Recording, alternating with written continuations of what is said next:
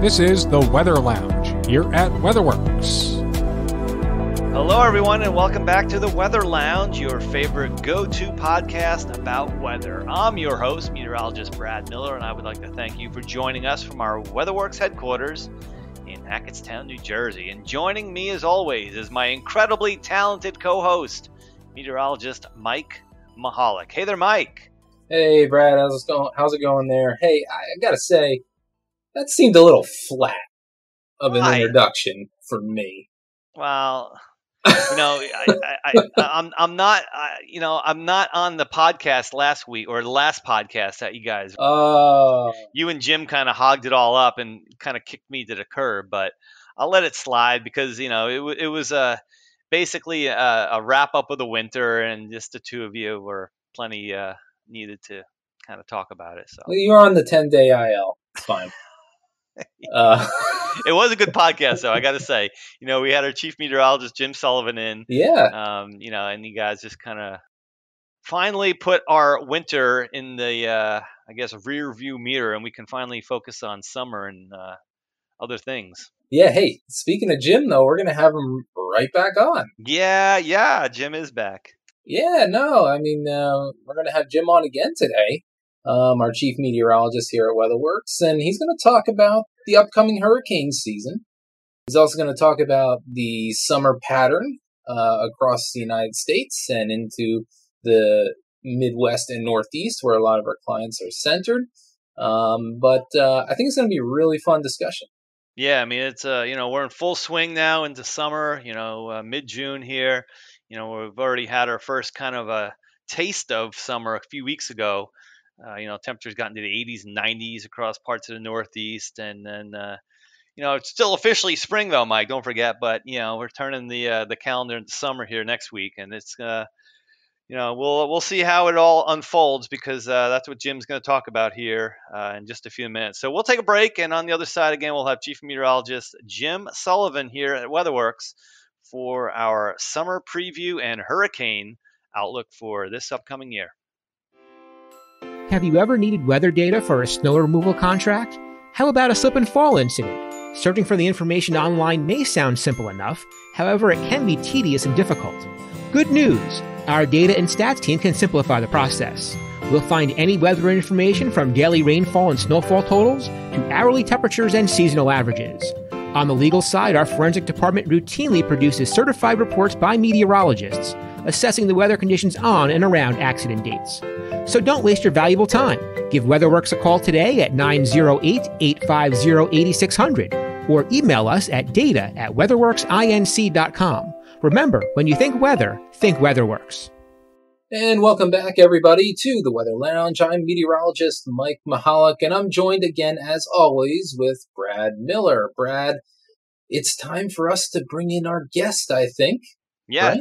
Two Yeah. podcasts in a row. Our own chief meteorologist here at WeatherWorks, Jim Sullivan, uh, is about to join us, and we're uh, again going to talk about the summer outlook and the outlook for the hurricane season here, as we uh, are now a couple of weeks into the Atlantic hurricane season.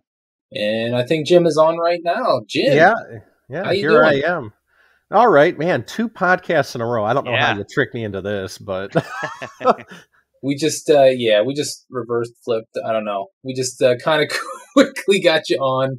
And uh, Jim, we promise we won't bother you again now until uh, the winter outlook uh, in a few months. So you get a you get a couple of months off now. okay, okay. I'll, I'll mark that down. No, no, certainly no problem. Always fun being on. I, I, I bet our our listeners out there love this. Uh, having the uh, chief meteorologist, long range guy on two days in a row, I think that's fun. But uh, Jim, let's start out. Um, we want to talk about the hurricane season uh, coming up here, and uh, you know we're into June here now, and um, you know let's talk about it a little bit. You know. Man, yeah, it feels like last season, you know, hard, hardly ended a few weeks ago because it, it raged on through most of November. And then we had a, a, decent winter uh, this year, actually, which kept us busy. And now all of a sudden, yeah, hurricane season is upon us again. yeah, def- definitely here, and um, You know, uh, I'm not going to steal any of your thunder uh, here for the forecast, um, but uh, I don't want to give away anything. But uh, you know, going into this year, there's a few uh, changes at the start of the season.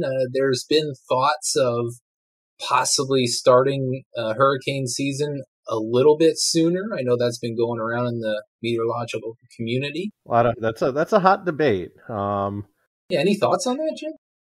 I, I, I personally don't like getting caught up in the semantics, um, just because I have other things that I worry about more. Um, I do think what they did this year, they kind of did a compromise. They kept the start date of the season June first, but they started issuing their regular outlooks in the middle of May. That's kind of a compromise.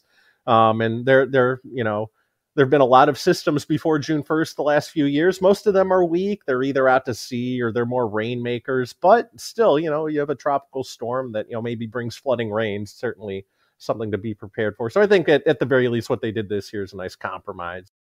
Yeah, I think I know where it's going. they're next year or two years or you know, they're going to come out with yeah usually when we hear these kinds of rumblings they they eventually move in that direction so yeah we'll see you know, I'm seeing some other sources out there, um, like Colorado State University is going for another active season. What do you think, Jim? Active, non-active? I know last year was crazy. Um, so many storms. I don't think that was that. That was a record, right? That was a record. Yep. Yeah. So, I, you know, I think we can say that a repeat of last year is quite unlikely, but signs are leaning towards another active season. Um, you know, whereas last year heading in, it was almost like all signs pointed towards an active season. This year, they're slightly more mixed, uh, but still are kind of pointing in a more active direction. So, so Jim, what what are the main ingredients though that would differentiate, uh, you know, maybe a, a, below normal season versus a more active season like we saw last year and what we're expecting this year? I mean, I mean, uh, you know, just the the, the basics uh, that change between the two. All right, so yeah, there's a number of things we look at heading into a season to make a forecast, and the first and one of the more important things we look at is the water temperatures, both in the Atlantic because those are what fuel the storms themselves, and also around the globe, especially in the tropics, because warmer or cooler waters elsewhere can drive patterns that indirectly influence uh, Atlantic hurricanes. So um, last year we had a La Nina during the peak of the hurricane season. That is when waters are cooler across the tropical Pacific than normal, um, and that favors an active season in the Atlantic usually. Um, this year, the La Nina has weakened, um, and we're probably going to have a pretty neutral situation in the Pacific through the hurricane season. Um, there might be a little bit of like a La Nina hangover, if you will, just because um, there is a bit of a lag between the ocean and the the response in the atmosphere. So it's kind of like you know that's more of a mixed signal. Maybe it leans towards a slightly active season on its own, but it's not like last year where we just kind of had a full blown La Nina. Um, another area we look is the Indian Ocean, believe it or not, because warm waters in the Indian Ocean do two things. Um, they kind of so a lot of the systems that develop, especially in the peak of the hurricane season, they're tropical waves that come from the Indian Ocean across Africa and into the Atlantic, and then they develop. So warm Indian Ocean waters kind of give those tropical waves or those seeds, if you will, for our storms a little more fuel. Um, so the Indian Ocean is quite warm again this year. It was warm heading into last season. So that is a signal for maybe some more activity. Um, and also the warm Indian Ocean might kind of give us a more La Nina atmospheric response, even though the Pacific is neutral. Um, just because in a La Nina there tends to be more thunderstorms over the Indian Ocean, and you know, even though we don't have a La Nina, the warm Indian Ocean itself might kind of give a similar effect. So, you know, just kind of looking at the oceans across the the world, um, you know, maybe leaning towards another active season, but not quite as strong of a signal as last year since it's more neutral in the Pacific. Yeah, I was just looking at the uh, 2020 Pacific season. Uh, there were uh, 17 named storms last year, um, versus I guess you know what we have 30 here in the Atlantic. Uh, right. Would... It's it's very hard for both the Atlantic and the Eastern Pacific to be very active, and they had a fair amount of storms in the Pacific, like 17 named storms. It's pretty close to average for the for the Eastern Pacific uh, but they didn't have all that many like really strong hurricanes in the east. no, it was only four hurricanes actually. So right, which is very very low. So you know that kind of shows like it was quiet in the Pacific last year with the you know partially because of the La Nina, very active in the Atlantic. And and Jim, the uh, you're talking about La Nina, and, and you're thinking kind of we're going to have a hangover. It's going to be neutral. Is there any chance to go to El Nino uh, later in the or later in the year, or is that kind of pretty much off the table? Um, it's not impossible. Um, you know, the waters have been pretty steadily warming across the Pacific, and if that trend were to continue, it's it's not ruled out that it, you know, a weak El Nino maybe develops by by the fall.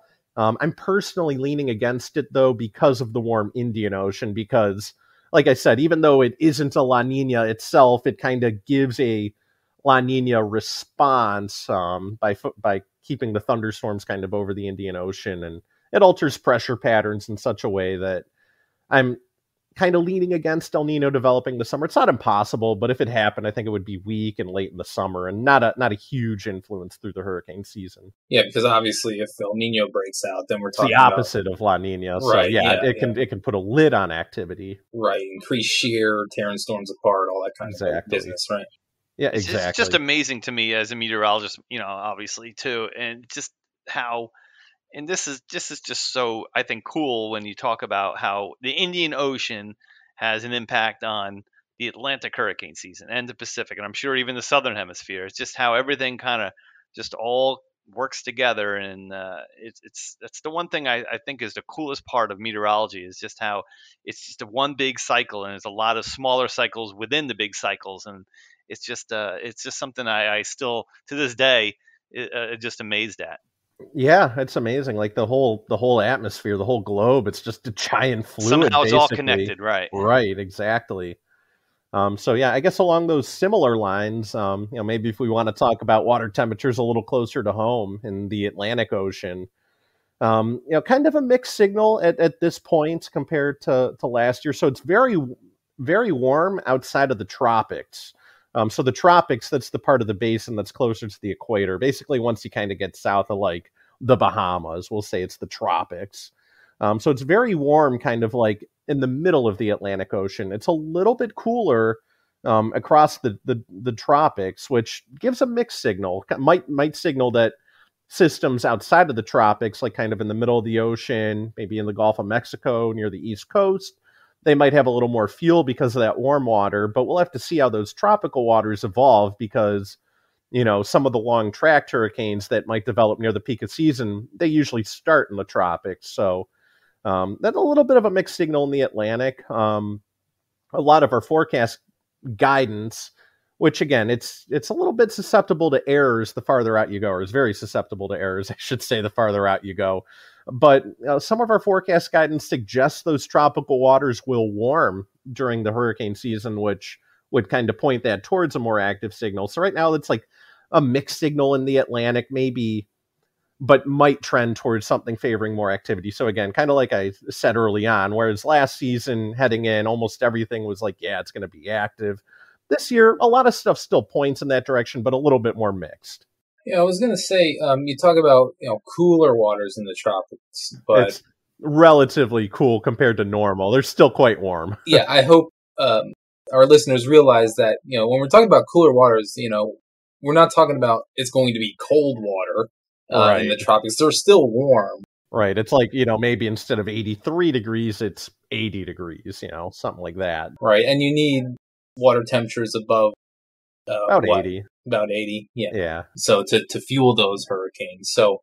Yeah, that's that's interesting to note there. I wonder what will happen with those uh, waves coming off Africa uh, as it runs into that cooler than normal water. Even though it's still warm, it's just not bath. Not quite as warm as it could be. Yeah.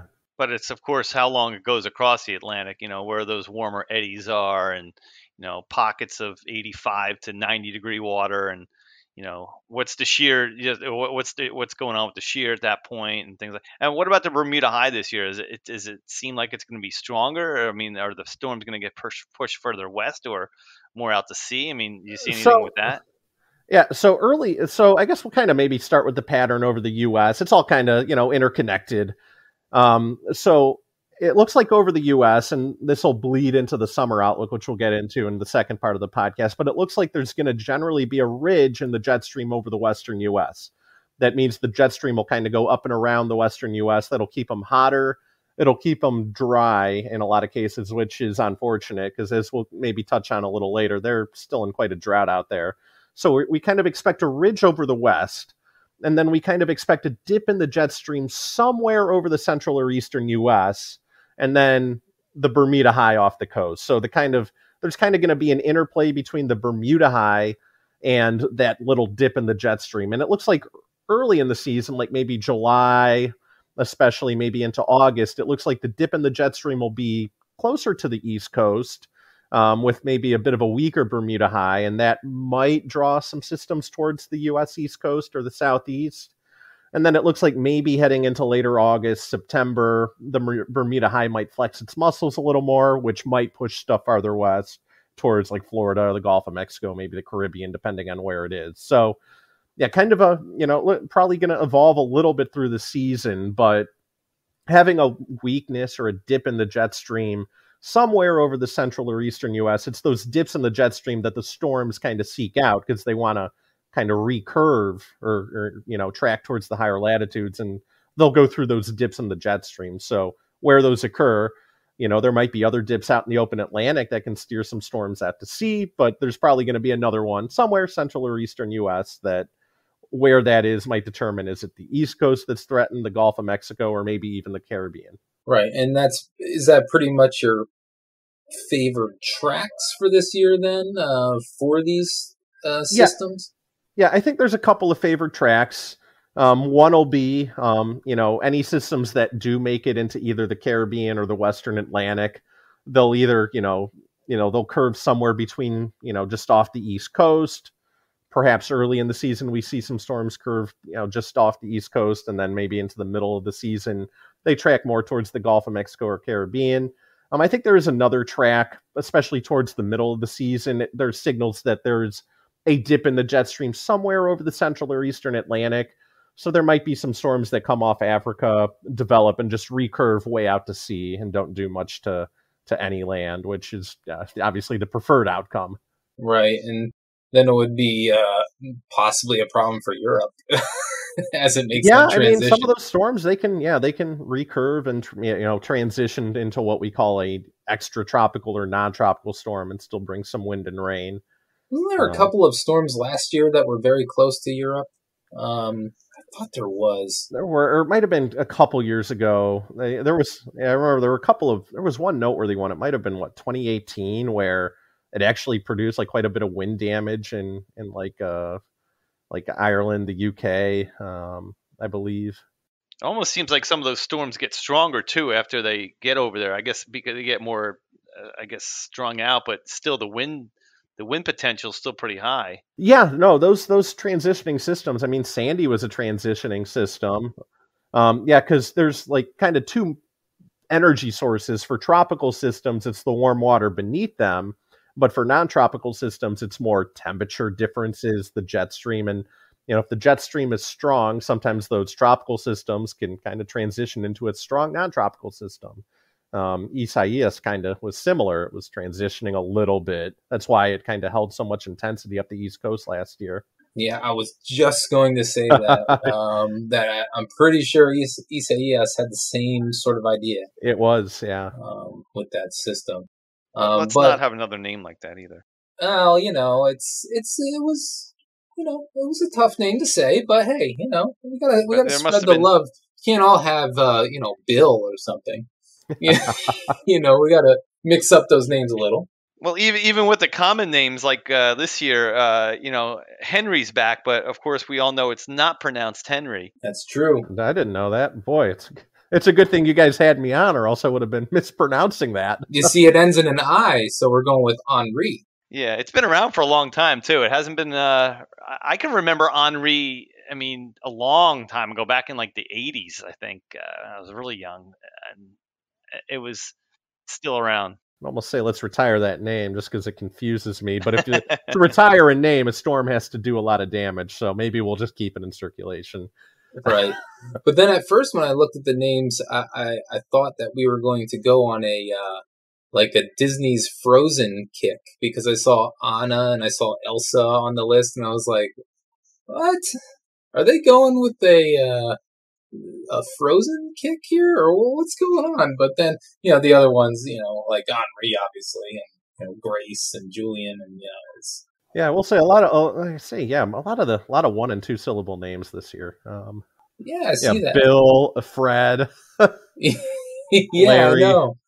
It's like it's like the it's it's a very common sort of name. It is a lot of common names on there. So you know. But uh, my name has uh, been retired, and we don't need another Michael. That's for sure. No. Because I'm sure Florida um, did not like me uh, last year. yeah, category five. Yeah, Yeah, pretty amazing. Or, or a couple of years ago, I should say. Yeah. Um, but something interesting that developed this year was that if we do make it through all of our named storms, there's been a change. There's a supplemental list now. And last year we obviously saw the Greek letters alpha and zeta and iota and eta and all these things. yeah. Looking at some of those maps during peak season, it looked like a frat house running around out there in the Atlantic with all those Greek letters. Not the same frat house as I remember at Penn State, but uh, a little bit different. Um, but um, no, it's, and and they're going to start using a supplementary list of names, Jim. And um, so, how is this working this year? Yeah, so yeah, basically what the system was, and we only used it twice. Uh, 2005 being first time, 2020 last year being the second and final time. Was it used to be we have the list of names? It's 20 some names, and then you run out of them, you know, because that's how many letters in the alphabet you are. You run out of names, and it used to just be okay. We'll use Greek letters. Just we'll name storms Greek letters, so you know you'll get you know tropical storm Alpha, Hurricane Zeta, Iota, um, and it's just awkward. It's just very awkward to go from names to um, Greek letters, and uh, you know maybe cause some confusion. So I guess just to kind of keep it more consistent, we just you know another list of names to to go through. Um, you know, so there's a list of what is that? It's like another 21 names um, that of of supplemental storms to go through. You know, if we get back into if we exhaust the the initial list of 21 names again. And and these now these names are not quite as simple. They're they're very off the wall. And and and Brad and I were looking at this list the other day, and we were like, wow. Um, I don't know if I've heard of a Caridad before.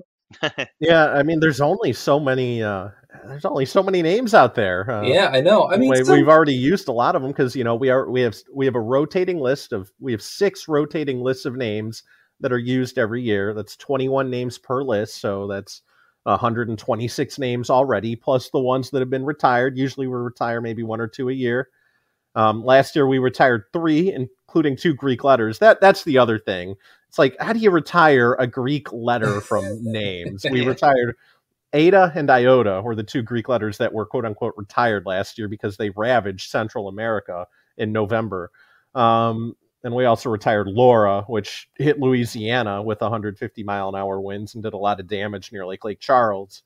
So um, yeah, it's be- I think it's just better. It's more hopefully just helps keep um, you know doesn't confuse the public when all of a sudden there are Greek names you know coming at the coast. Now, now I, I want to know, and I, I don't. Maybe when you guys know this, I, I still don't know the answer. Is are these names going to be used now every year Yeah, it's one it's one supplemental list I per think. year? No, just total. Oh, okay, Um, so Adria can actually be used two years in a row. it could, I believe so. Yeah, I, I, that's true. I don't know if they would maybe just keep going down the list Right. because that's what they do in the Central Pacific. I believe they don't have rotating lists because they don't get that many storms there, like near Hawaii. I think they just have one or two lists that they just might cycle through. So they might do something like that. Where if we have Adria this year, And you pick up on Braden Braylen next year. Yeah. yeah, yeah, some of these are some interesting names: Heath, uh, Jacobus, um, you know, Jake, Jacob. Yeah, if anyone's listening to you know the answer to that question, please let us know because I, I did a whole bunch of I looked up everywhere and just to figure out if they were gonna, you know, have a new list each year. But yeah, I don't think it's just gonna be a, a It's one supplemental list for sure. I just don't know how they're going to go through it. Like if it starts at Adria every time, or right. if they just keep going through the list. again, it's only happened twice so far in recorded history. Um, you know, probably more prone to happen now than in the past, just because we're we're better at detecting the weaker storms than we were before satellites were up in up in space looking down at us. So, you know, it's easier to go through the names a little bit quicker. Um, you know, because the average number of storms has gone from you know ten in the 1900s to 14 now. So uh, pretty pretty soon, the way things are going, we're going to start giving these hurricanes serial numbers. Hurricane one three five six coming up the coast. Ah, sorry, bad joke, but uh, anyway. Oh. yeah. So, gosh, do we have do we have any more any more topics to to broach here with with the tropics or? Uh, no other topics to broach. I don't think. I mean, I think we went through the, the the tracks and everything. But one thing I just wanted to note that, um, you know, these hurricanes and tropical systems they don't just occur in like the Pacific and and the Atlantic. I mean, they occur all over, all over, even even in the Mediterranean which I find interesting. Um, I think they call them medicanes. yeah, medicanes. Um, yeah. Hmm. I mean, so yeah, I mean, yeah, hurricanes, tropical storms. Yeah, I mean, they they occur in the Western Pacific. Those are they're called typhoons. Um, same type of storm, just different part of the world, different name. Um, they just call them cyclones in Australia or the Indian Ocean. Um, you know, very very direct and to the point there. A cyclone, um, but they can still be just as damaging. And yeah, um, the ones in the Mediterranean Sea, they're not classic hurricanes just because it's a little cooler there. Uh, but it's the same type of process. You can get thunderstorms over the relatively warm waters of, of the sea. And occasionally you get a little system. There was a pretty strong one, I think, last fall, um, if I remember pr- correctly. Yeah, yeah. I mean, uh, I oh, man, I believe that one was actually very strong. It might have had like 100 mile an hour winds or so. I, I remember looking at it, but I don't know the exacts on yeah. And I know, I know it did some damage, but maybe even produced some tornadoes and flooding rain like tropical cyclones do. So, yeah, definitely an interesting thing. It, it happens every now and then up there. And I know there's not much activity that happens in the southern Atlantic, right? I mean, it has very happened. rare. Um, you know, the southern, you know, the southern Pacific, like Australia, that's a little bit more common. Um, Australia has been hit by some some very powerful cyclones over the years. Um, yeah, Southern Atlantic is the one basin where really not much happens. I think there's maybe been a, a few recorded like tropical cyclones on record. Um, part of that just is because the waters are a lot cooler down there. Um, so that that you know lack of lack of warm water, lack of fuel for these storms. Well, I just thought it was important that you know people understand that it's not just the Atlantic that experiences these storms, no, but all uh, over.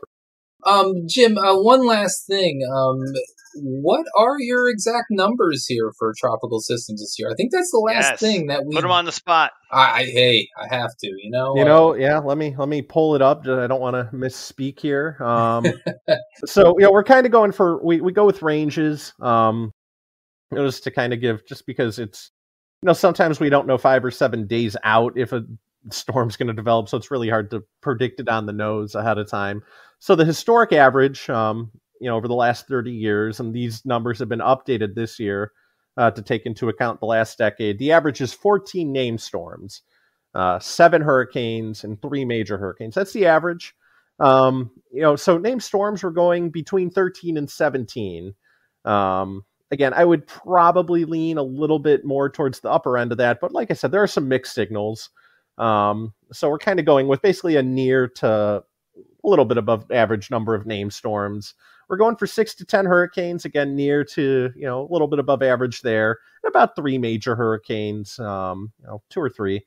So near average number of major hurricanes. So, you know, again, we're kind of going, we're leaning more active than normal, but more reserved than last year. And again, we'll see how it goes. Last year, we thought our, our forecast was pretty crazy. It was crazy forecasting maybe 20 name storms ahead of time. And I think we had like three to six major hurricanes ahead of time. So we were forecasting up to double the amount of major hurricanes ahead of time and nearly double the amount of named storms ahead of time compared to normal. And our forecast last year was still too low. That's it's just remarkable how active it was. So yeah, that's that's where we're at right now, and you know we'll we'll see how it evolves. Of course, the old cliche that we tell everyone: it only takes one storm to make it a memorable year. So, I mean, whether we have seven named storms or twenty, you know, if that one impacts you, and you know it uh, it makes a landfall near you, and you know you're you're dealing with it. It's it's a memorable year, and that goes you know for any year really.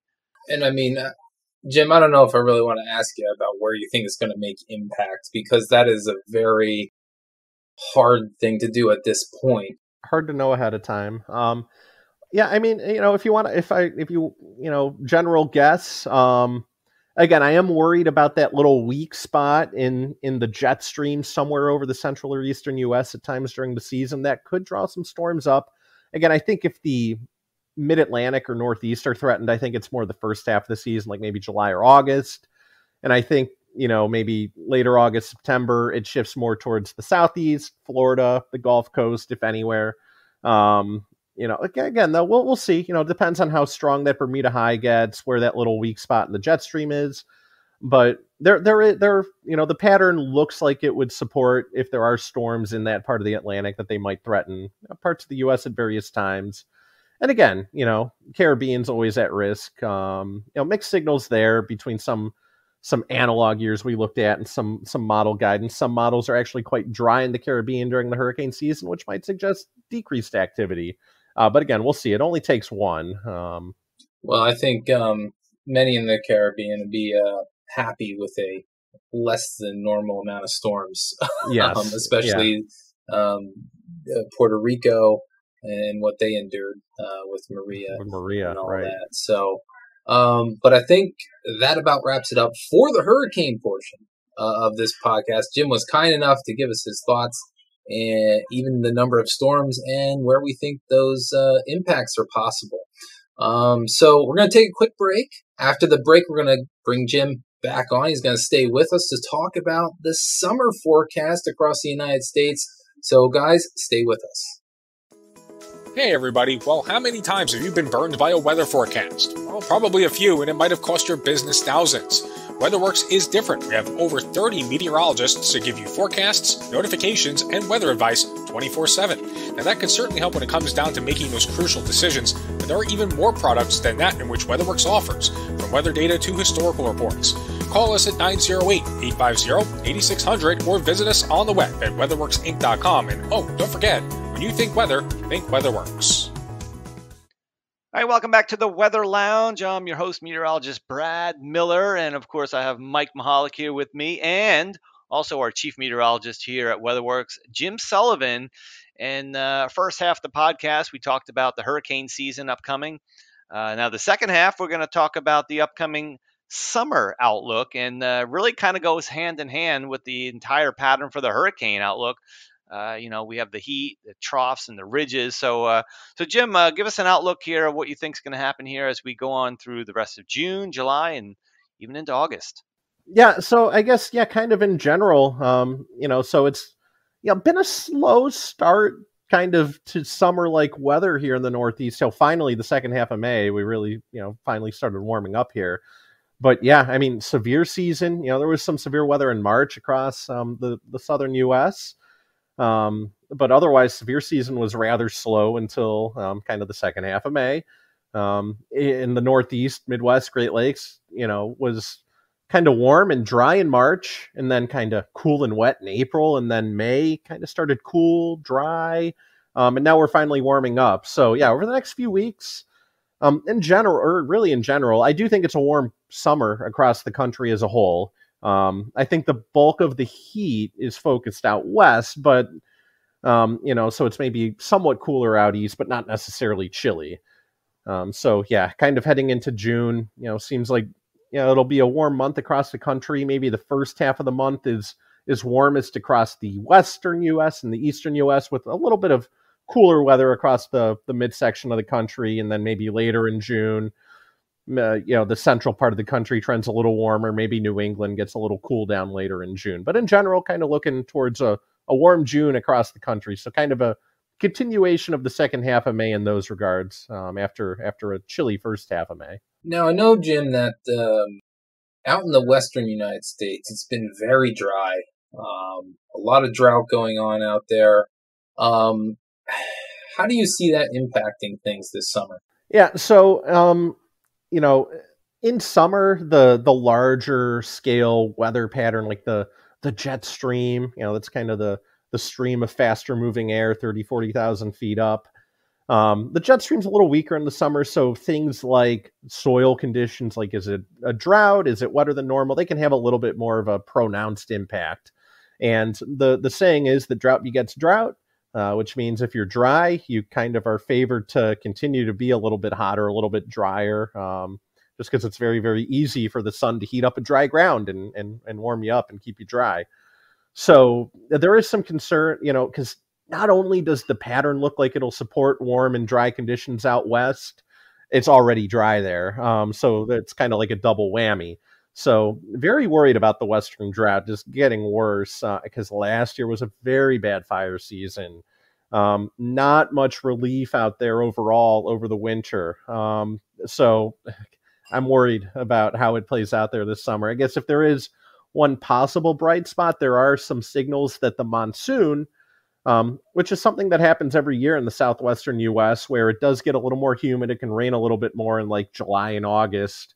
Uh, there are some signals that the monsoon might be strong enough this year to at least bring some rain to like the Four Corners region, the desert southwest. southwest. Uh, but you know, so hopefully that happens, and because they're just in an exceptional drought, that's like the highest drought category. Um, it's like exceptional drought and a lot of the Southwest is in that. So maybe there's a little bit of relief there if the monsoon can come through. But other than that, yeah, very worried that the drought just continues, if if not gets worse through the summer out there. Yeah, I mean, even even last year you talked about the fires that were so bad. I mean, geez, we had smoke even on the East Coast. Oh, I remember uh, that. It remember, was. I, I cannot remember smoke being quite that thick. It was so thick that it was messing with high temperatures. Yeah. Um, there, there were, you know, there was a week there where temperatures were coming in a few degrees cooler than we thought. Usually, it's the other way around. If it's sunny, if anything, it'll be warmer than we think. But no, it was, it was completely sunny except for the smoke, which acted like almost like a deck of clouds. Yeah. Um, it was very, very weird. It made for was, some uh, incredible sunsets though last year. I remember that. Yeah. So yeah, I don't quite remember. Uh, maybe it's happened before, uh, but uh, personally, I don't remember seeing fire smoke that thick. Um, and it was for a few days too. It was like you know better part of a week, I think. Yeah, it was almost like there was a pretty good layer of cirrus cloud over um, the area, just you know, really blocking out the sun. I just it was kind of it was. I'm with you. It was kind of strange, you know. I guess that's uh, the whole problem with uh, volcanoes if they want to explode cataclysmically. yeah, they're gonna throw all kinds of stuff in the atmosphere. Well, it was 40 years ago that Mount St. Helens. Uh, last month they were uh, they were showing that. I saw that a lot on social media when, when uh, that occurred in 1981. Um, that has such uh, such impacts all around the globe. We sure it was 81. I, are we right on that? Yeah, I think it was 40 years ago. I wouldn't know, guys. 1980. I was 41 years ago. 41 years ago. Way to go, Brad. Yeah, no, we sorry. missed we missed the big anniversary by one year here with this podcast. Yeah, no, it was uh, uh March 16th, 1980. Um May, May 16th. May 16th, right? yeah. Well, it, no, it, yeah, it started to show its first signs in March. I yeah, guess. okay. Okay. Uh, and, and, then it, and then it finally uh, exploded, uh, blew its top. Uh, yeah, literally. Yeah, I mean everything uh, blew. So let's hope stuff like that doesn't happen. I mean that that could be a a monkey wrench for everything, uh, you know. But um, but yeah, I mean, I am worried about those wildfire wildfires, just like you, Jim. Um, but you know, you, you, talked about June a little bit. You know, let's head into July a little bit more. Um, what are we expecting here across the country? Yeah, so you know, as we kind of mentioned in the tropical portion, I think uh, a big thing we're going to be tracking is where is there that little dip or weakness in the jet stream over the summer um, because you know it'll be hot over the west and it'll be relatively cooler or more seasonable at least and probably wetter where that dip in the jet stream is and you know in june it might be somewhere over the central us to start over new england maybe later in the month and then july it looks like you know somewhere over the central and eastern us like maybe over the mississippi ohio valley into the southeast and mid-atlantic somewhere in there is where there might be that dip in the jet stream in july with very warm weather out west probably pretty warm on the other side of that dip. So maybe that's New England is still pretty warm in July. Um, so yeah, July looks like again a warm month nationally overall, but with with a relatively smaller area of more seasonable weather, kind of maybe over the southeastern portions of the country, focus there. You think that's going to lead to more severe weather in July, or?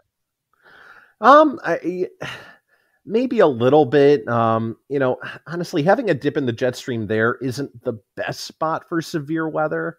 Um, you know, maybe you know if you have the dip in the jet stream there, it can draw tropical moisture towards the east coast. So maybe there's a flooding threat. Um, you know, we're we're dry right now, and we actually could use some rain here in most of the eastern United States as well. Um, you know, we had an active winter, but we've dried out quickly here over the last few weeks. So, you know, honestly, we could probably use some rain, and I think we'll get some in June as well. Um, so What maybe about- not a. Yeah, go ahead. I was gonna say, what about the old buzzword uh, derecho potential this upcoming summer? You know, I, I, I, I- know that some other outlets explicitly forecast that, and I'm not really going to touch it just because, Right, I agree. you know, again, sometimes we don't know if it's a derecho until after it happens, and True. we kind of plot like, okay, here's where, here's how long the damage path was, here how strong the winds were. Um, you know, and the word derecho, I think, gets a bad buzz. It a- does. yeah, it's it's overhyped because derechos. There's usually several derechos every year somewhere in the U.S. Um, last year there were a couple that were pretty noteworthy. There was one that went through Philadelphia in early June. That one, as far as derechos go, that was kind of on the lower end of things. You know, the max winds were on- only quote unquote 80 or 90 miles an hour, but it it hit a big East Coast city, so it got a lot of attention and it did a ton of damage and resulted in a few deaths from falling trees. So it was still a very big deal. But as far as derechos go, it was kind of low end. It just hit hit a spot that it was impactful. Uh, there was a big derecho that that affected Iowa into Illinois last summer. That was the big one. It uh, hit like Cedar Rapids, Iowa, with winds of 140 miles an hour. That's an extreme case. That is not something we see every year. Wait, wait, did you say 140? Yeah, they estimated winds in there of 140, and there's some videos out there on the internet. It was it wasn't just one gust of wind. It was like 30, 40 minutes of just every time there was a wind gust, trees are coming down, parts of roofs are blowing off. It was it was it, was honestly probably didn't get the attention it deserved because it ravaged that town. So in terms of you know maybe severe weather in general, um, I do think June um, there there is some fairly active severe weather at times uh, from maybe like you know kind of the midsection of the country, maybe Iowa, Missouri, Arkansas, maybe even leaking into Kansas, Oklahoma, east across the Ohio Valley, and towards like parts of the East Coast, um, especially the northern Mid Atlantic. I do think there is some severe weather in June. Um, I, I don't want to predict a number of derechos. Um, you know, could there be one? Sure. Um, you know, there probably will be a couple of derechos this summer. Just very hard to predict ahead of time.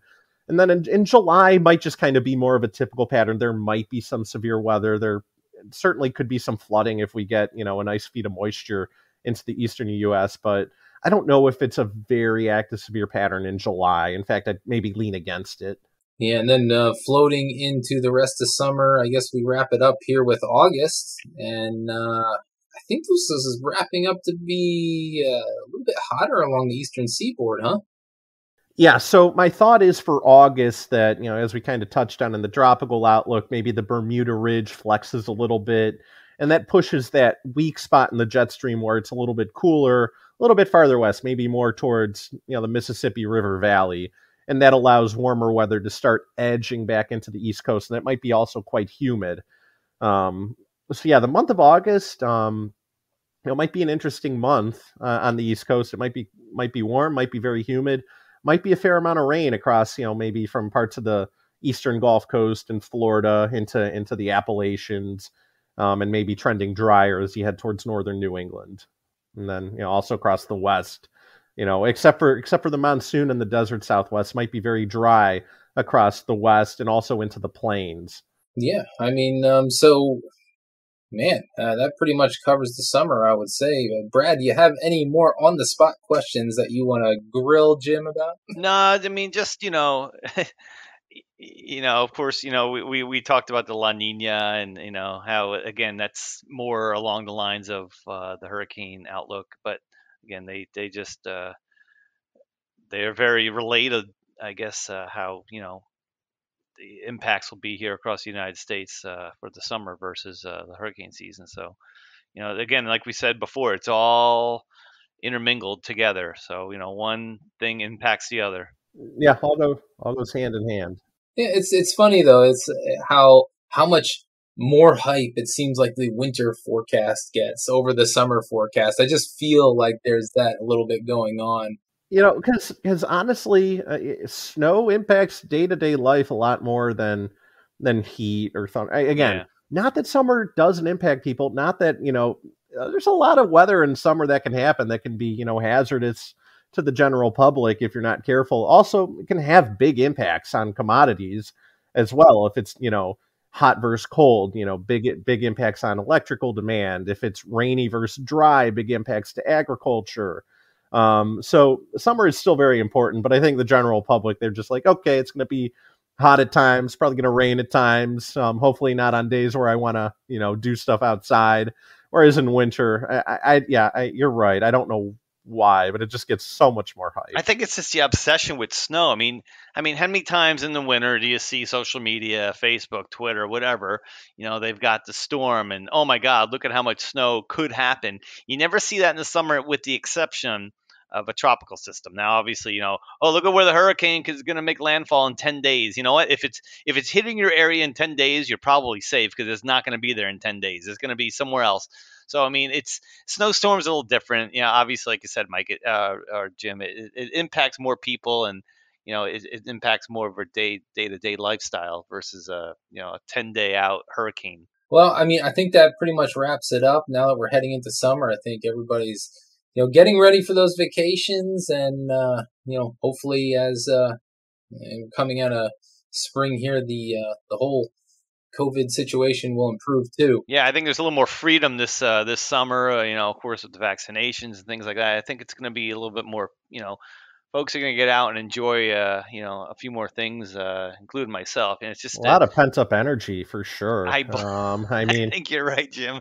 I think this could be this could be an interesting summer for. I mean, of- I'm I'm looking forward to you know I'm looking forward to you know to being able to you know go out like normal again. Yeah, uh, things like concerts coming back, fireworks, you know. everything. Yeah. Ex- exactly. So, yeah, hopefully, hopefully we you know a little little heat doesn't hurt any. Well, a lot of heat hurts anyone. A little heat, it is what it is, but hopefully we have some dry weather, at least on the days where we want to do stuff outside, as it does need to rain a little bit, or else everything just turns brown and we get go into a drought. So, well, that is true. We don't need that happening, and you know, I don't think there's been a large drought, uh, at least in Pennsylvania, New Jersey area no, where we're located while. Yeah. New England, New England actually had a fairly like upstate New York, New England actually had a fairly bad drought last summer.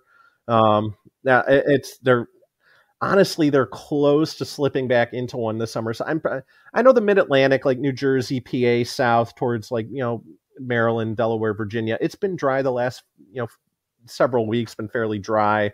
Um, and you know, there's concern, but I do think it turns around here through the summer. I don't think we have a big drought concern. You, never know. You know, I'll, I'll, I'll be holding my breath until it turns wetter. Um, that's just the nature of it. But I am a little bit worried that maybe upstate New York, New England again can dry out at times this summer because again they're already pretty dry and they're already pretty far in the hole this year. Um, and I am worried the moisture maybe goes a little bit south of them this summer. Well, let's hope that uh, doesn't happen this year because we don't want everybody, everything drying up and crops being damaged and all that kind of stuff. I mean, geez, I remember when I was a, a, a senior, might have been a senior or junior in high school, there was a pretty bad drought. And I used to work for a landscaping company and we would go out to cut 20 lawns and we come back with like one or two that we actually did. Um, so, you know, for the, for the sake of that industry, let's, let's hope that doesn't happen and it doesn't look like it is according to your forecast, Jim. Um, so, hey, Jim, I'm glad you're on once again. I think we're going to let you go. yeah, no problem. You got me two in a row. Um, and before before we know it, we'll be talking about winter. But again, as, as I think I said in the last one, I'm going to enjoy this few months of bliss. You know, you know, warm thoughts. Um, I don't know what what snow is. Um, Before we start bugging again, what what's the winter looking like, Jim? Come on. Uh, colder, colder than summer, Brad. Colder than summer. Sometime in August, I'll be on the phone uh, with Jim. Eh, how you doing, Jim? Uh, you know, we'll start talking about winter. But uh, until then, we'll give Jim a few months off.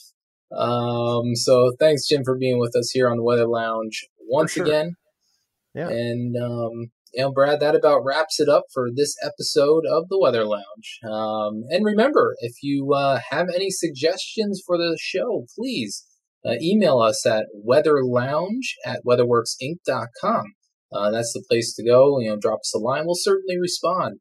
Um, remember this podcast, we have a new one every two weeks, so please join us again. And we'll also, we also are found on tons of platforms from uh, Spotify to Apple to Stitcher uh, to Google. Uh, we're pretty much everywhere. Just search the Weather Lounge. Otherwise, uh, you can find Weather Works on social media. Visit us on Facebook, Instagram, YouTube, LinkedIn. That's all for the show for this week. So please come and join us in another week or two. So thank you for listening, and we'll see you next time.